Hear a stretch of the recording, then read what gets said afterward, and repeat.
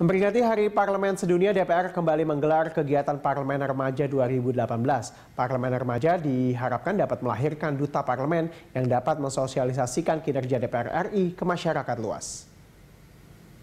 Kegiatan Parlemen Remaja 2018 yang diselenggarakan DPR RI diharapkan mampu melahirkan duta pemuda yang dapat mensosialisasikan fungsi dan tugas DPR RI kepada masyarakat luas. Ditemui usai acara pertunjukan seni dalam kegiatan Parlemen Remaja 2018 di Wisma Gria Sabah Kopo, Kabupaten Bogor, Provinsi Jawa Barat, beberapa waktu yang lalu Kepala Bagian Hubungan Masyarakat Sekretaris Jenderal DPR RI Minarni mengatakan, kegiatan Parlemen Remaja mengimplementasikan peringatan Hari Parlemen Sedunia, khususnya dalam rangka pembinaan dan pendidikan politik bagi generasi muda.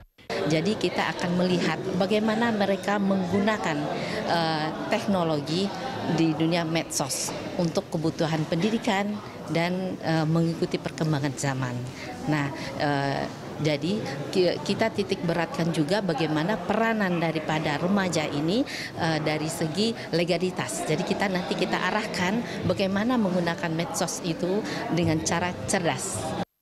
Ketua Parlemen Remaja 2018 Tegar Abdillah Ramadan mengatakan partisipasi publik dan kepercayaan masyarakat terhadap DPR RI dan politik semakin tahun semakin menurun. Untuk itu DPR RI harus menjadi lembaga yang terbuka dan transparan bagi masyarakat. Tegar menilai dengan kegiatan Parlemen Remaja akan melahirkan duta parlemen dalam mensosialisasikan kinerja DPR RI dengan parlemen remaja itu gimana caranya parlemen remaja ini akan jadi duta ketika sampai nanti di daerahnya masing-masing dia kasih tahu ini anggota DPR kenapa capek kenapa lama, lama merumuskan sebuah undang-undang dari Kabupaten Bogor, Provinsi Jawa Barat, Hilman Hidayat dan Rian TVR Parlemen.